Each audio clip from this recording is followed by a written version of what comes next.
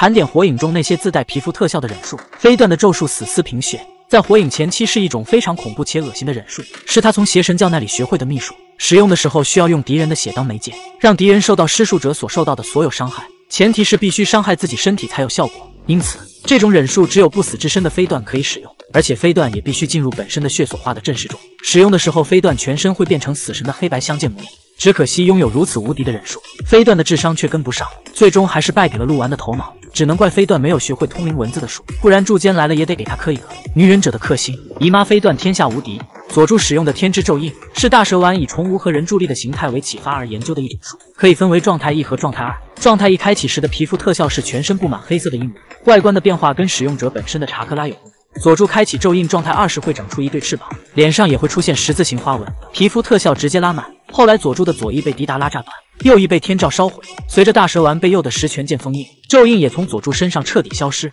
叠钉刺模式其实是被忽略的一种强大的战斗模式。当钉刺意识到自己要战胜敌人的时候，身上潜藏的力量就会化为蝴蝶显现出来，其实就是将平时大吃大喝积累下来的卡路里转化为能量。本来是要用特殊的红辣椒丸才能激发出来的力量，但丁次可能是看过赛亚人变身，仅靠愤怒就能变身，而且还没有副作用，典型的技能变强又能变帅招数，建议丁次日常使用。四战中，鸣人为了拯救尾兽们，努力帮助他们摆脱带土的控制，最终在鸣人的行动感化了九尾，两人互相理解，鸣人也完全解开了八卦封印。此时，木叶的鸣人和九喇嘛合为一体，鸣人成为奇拉比之后的第二个完美人，眼瞳形状也变成九尾的竖直状妖头。此时的鸣人可完全操控九尾的力量，与其他尾兽不同。九尾人柱力的尾兽化是产生查克拉外衣，人柱力和其他人都可以自由出入，只是第一次完全尾兽化的时间受到限制，只能维持五分钟左右。后来的鸣人也逐渐熟练，甚至将九尾模式和仙人模式结合在了一起。